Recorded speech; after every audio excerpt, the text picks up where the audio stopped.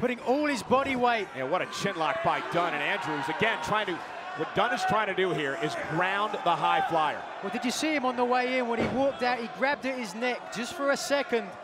To me, that was a mistake. I guarantee you Dunne saw it, right? Dunne, I'm sure, was back there. I'm sure he saw that and is now focusing on that injured body part. And again, Nigel, I'm going to ask you the question. This is the third match in two days for both of these men. Who does that favor?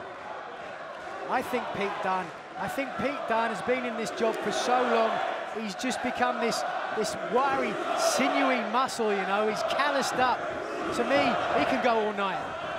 Oh, look at Dunne. He saw it coming. Oh. And Andrews, though, with an arm drag, caught Dunne, and Dunne wisely gets out of the ring. But maybe he doesn't want to be out there. It's Mark Andrews' wheelhouse. Here comes the Welshman. Over the top, and down goes Dunne.